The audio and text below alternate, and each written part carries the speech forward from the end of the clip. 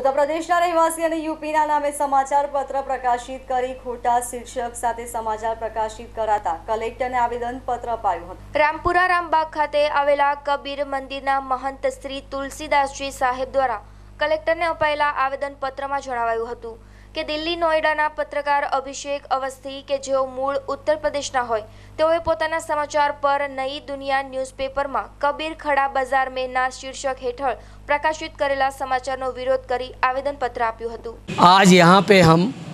बहुत दुख और बहुत पेन के साथ इकट्ठा हुए हैं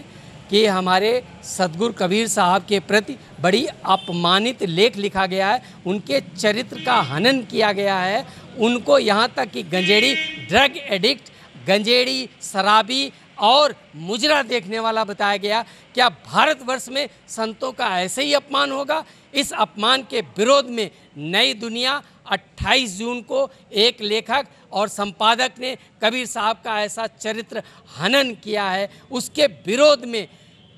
भारतवर्ष नहीं, पूरी दुनिया के समस्त पाँच करोड़ कबीरपंथी विरोध करते हैं और ये मांग करते हैं कि संपादक और लेखक के विरुद्ध कड़ी से कड़ी कार्रवाई हो। और आप लोगों के माध्यम से मैं ये चाहता हूँ कि इस बात को प्रेस इंफॉर्मेशन ब्यूरो तक पहुँचाई जाए। ऐसे निकृष्ट और दृष्ट और चरित्र हनन करने वाले लेखकों को जो समाज में अ,